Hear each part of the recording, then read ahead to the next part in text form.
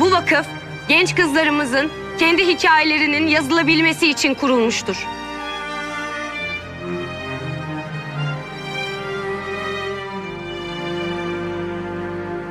Hem belli ki ben bunca yıldır senin yolunu gözlemiş. Daha fazla yolunu gözletme bana. He? Sen çok farklısın. Benim için. Ne oldu? Baba oluyorsun. Ne? Baba. Baba oluyorum. Gerçekten seni seçtiğim için kendimle gurur duyuyorum. Sen benim kazandığım en güzel madalyasın.